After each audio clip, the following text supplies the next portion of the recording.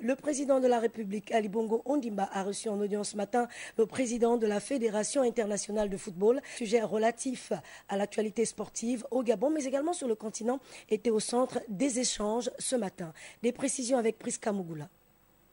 En périple continent africain, le président de la FIFA a marqué un arrêt à Libreville pour présenter ses civilités au chef de l'État, passionné de ballon rond.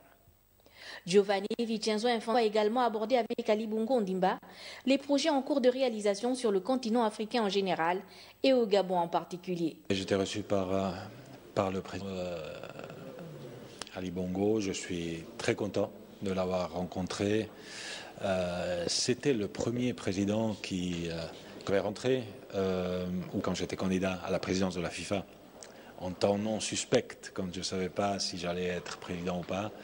Il m'a ouvert, euh, c'est pas vraiment parler de, de projets euh, pour le football africain, pour, euh, pas pour développer le football africain, parce que le football africain seul, mais pour hisser le football africain au sommet Nation de sport, le Gabon accueille plusieurs compétitions sportives. Le football sport roi dispose d'infrastructures aux normes internationales. Le Gabon, c'est un pays qui, qui est organisé. J'ai pu, j'ai pu visiter le pays lors de la Coupe d'Afrique des Nations il y a, il y a deux ans. Donc pas il y, a, il y a 50 ans, il y a 20 ans, il y a deux ans.